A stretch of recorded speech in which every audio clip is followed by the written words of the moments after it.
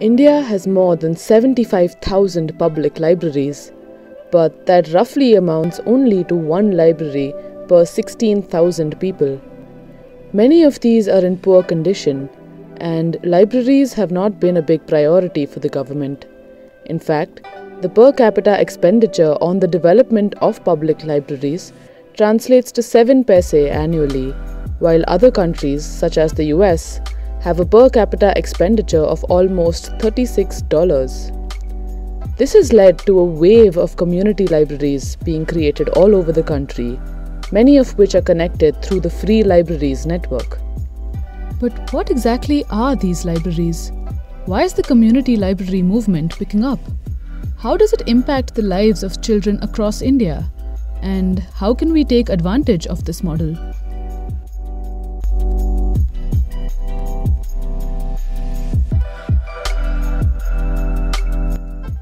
Different libraries in different regions uh, who are running now need to come up together. And we are actually uh, working on making reading space or reading or library accessible to everyone. Everyone means everyone.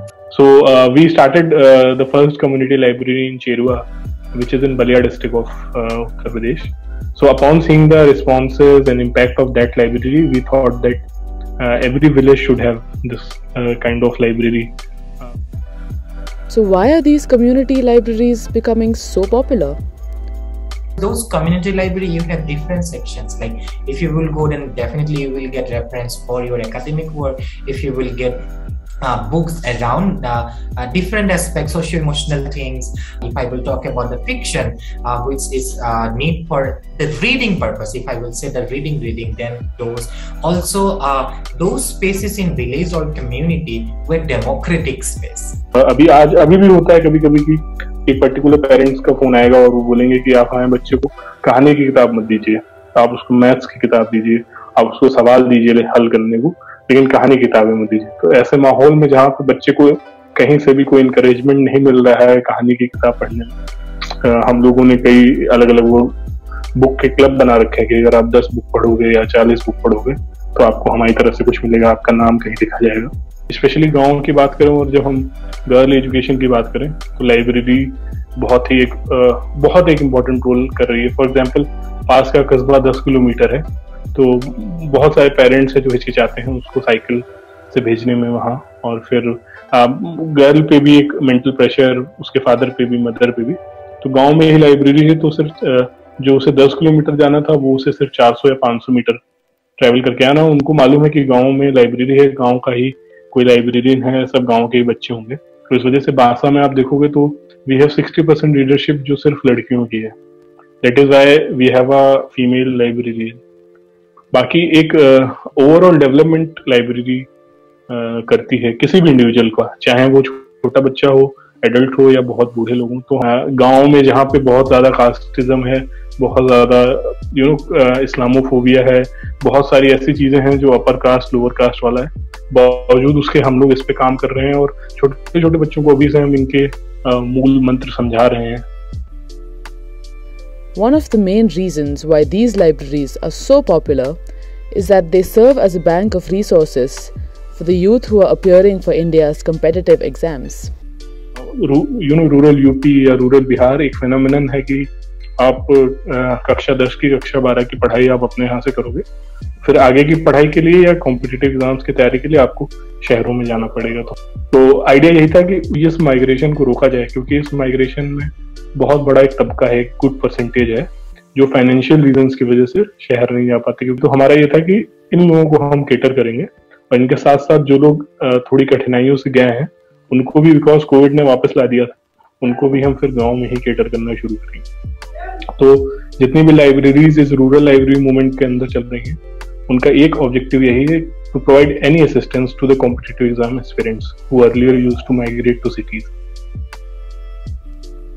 and these libraries have embedded themselves in the social and cultural fabric of communities across India, serving a wide range of needs, from after school classes and community meeting centers to more recently, COVID relief camps. You know the community library which actually creates space for the community where they can come they can sit they can discuss they can organize something for their community. I have seen so many library community library in all over our country who doesn't just run reading program or it's not just you come and read books from our library or you just come and uh, issue books from our library but actually they hold a lot of community reading for pleasure एक है और एक assistance with competitive exam ये दो चीज़ें broad हैं जिनकी वजह से लोग लाइब्रेरी तक आ रहे हैं। उसके बाद डांस क्लासेस हैं आर्ट क्लासेस हैं म्यूज़िक की क्लासेस हैं टाइपिंग की क्लासेस हैं बेसिक कंप्यूटर ट्रेनिंग की क्लासेस हैं। हम लोगों ने अगस्त में मेंस्ट्रुअल हाइजीन पे हमने सेशन किए। हम लोगों ने लीगल लिटरेसी क्लासेस बच्चों के लिए इंट्रोड्यूस की। जो मैंने अपने, जब मैं 20 साल का हुआ, अपने लॉ स्कूल में पढ़ा, वो हमारे गाँव के बच्चे थर्ड क्लास फोर्थ क्लास के वो पढ़ रहे हैं कि संविधान क्या है प्रियम्बल क्या है हम लोगों ने फाइनेंशियल लिटरेसी को लेकर सेशन किए जिसमें हम उन्हें बता रहे हैं कि फाइनेंसेस का क्या है बजट में क्या होता है और साथ ही साथ साइबर सेफ्टी और इन सब पे सेशन कर रहे हैं you know have a corner where they actually uh, make some display around uh, the available government schemes which are coming to their you know panchayat or something like that and in that way people whoever is coming to the library and they can avail from that second wave में जब गाँव में भी corona बहुत तेज़ी से फैला, बहुत सारे लोग की डेथ हुई उसमें, हमारे गाँव में भी, तब हम लोगों ने एक रूरल कोविड रिलीफ वर्क करके शुरू किया था, जिसमें से हमने अपनी लाइब्रेरीज को एक सेंटर की तरह यूज़ किया था, जहाँ पे हम लोग मेडिसिन ऑक्सीमीटर्स और ये सब लाके हमने रखे थे। और टेम्परेरी बेड्स बनाए थे गवर्नमेंट से रिक्वेस्ट करके टेस्टिंग कैंप्स लगवाए थे तो ये सब लाइब्रेरी पे हुआ था। और कोविड में भी जब सेकेंड वेव खत्म हुई और हम लोगों ने ये कोविड प्रोटोकॉल और ये सब लाइब्रेरी के माध्यम से जब बताए बच्चों के माध्यम से घरों तक पहुँचाए तो उसका एक अलग इम्पैक्ट था रेदर देन जो गवर्नमेंट बोलती थी उसका As you can imagine, it's not exactly cheap to build and maintain these libraries. So, how do they meet their financial requirements? Whatever we are getting for the library, be it books, pencils, or any kind of support is from the people who are on internet. तो इस वजह से in order to you know gain their trust एक sense of transparency develop करना, हम छोटी से छोटी अपडेट को लेके, बड़ी से बड़ी अपडेट हम सोशल मीडिया के माध्यम से बताते हैं। जो अबेंडेंट बिल्डिंग्स हैं गवर्नमेंट की तो हम उन बिल्डिंग्स को एक्वायर कर रहे हैं गवर्नमेंट के साथ टाइप कर रहे हैं और उनको रेनोवेट करा रहे हैं, जिसमें बहुत खर्चा नहीं आता है। इसके अलावा बुक्स का हम लोगों ने क्या किया कि अमेजोन की विश लिस्ट बना रखी है। बहुत सारे पब्लिशर्स हैं उनके साथ उन पब्लिशर्स का एक टाइप है तो thirty percent forty percent discounts में हमें बुक्स मिल रही है। तो फंड्स तो बेसिकली सब लगभग लगभग क्राउड फंडिंग है। तो क्लासेस हम लोग सब वॉलेंट्री बेसिस पे रख रहे हैं हम अन अकेडमी के सब्सक्रिप्शन ले लेते हैं बट बहुत ही रेयर केस में। अदर देन दैट हमारा एक पूरा टीम है जो डेडिकेटेड है। ओपन लर्निंग के जितने भी सोर्सेज अवेलेबल हैं इंटरनेट पे, या ऐसे वॉलेंटियर्स जो पढ़ाना चाहते हैं, हम उनको ढूंढते हैं। So it's obvious now that libraries can make a huge difference to a community. But how exactly do you go about building one?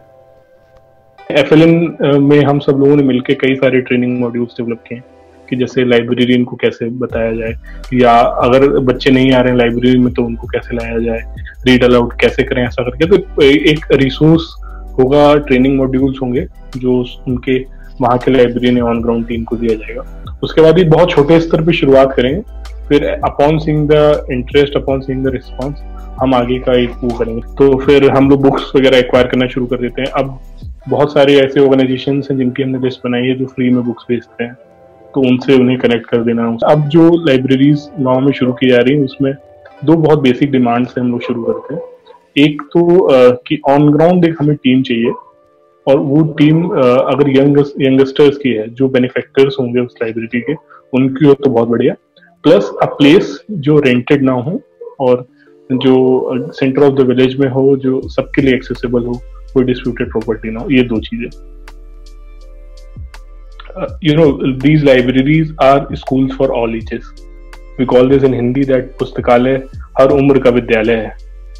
And you know libraries give this freedom because uh, whenever something some words like mandatory words like compulsory it creates a negative imprint in the minds of children parents की अच्छा ये government बोल रही है इसलिए हमें करना ही है बट लाइब्रेरीज के साथ ऐसा नहीं है library whenever so if you visit any of our libraries or any library for that matter you will sense a, a kind of freedom in that atmosphere of the library